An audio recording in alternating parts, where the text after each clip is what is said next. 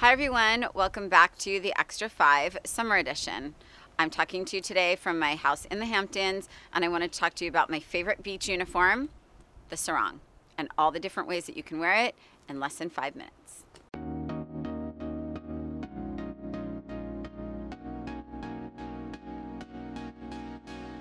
To show you some of my favorite ways to wear a sarong, I'm going to use this exclusive Mara Hoffman sarong from my summer box of style.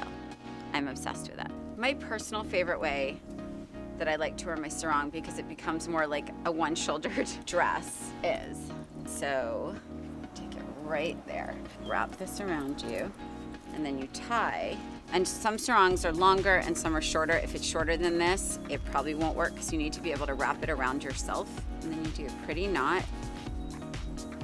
And there you have a one-shouldered beach dress. And there you go. Throw your wedges on, put a little lipstick on, and go to a beach party. Another one I love is to create just a little strapless dress. You just go like this, tie it in a kind of messy knot. I like to hold them and just make like a pretty knot. And you can use any sarong, but this particular one is an exclusive to the Summer Box of Style, and it's by Mara Hoffman, an exclusive print to us. And it works beautifully, styling it all these different ways, so I'm super excited about it. I mean, that could be an evening dress super easily. I love it.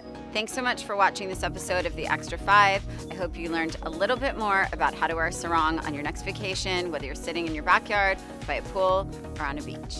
Don't forget to subscribe, and I will see you on the next Extra Five.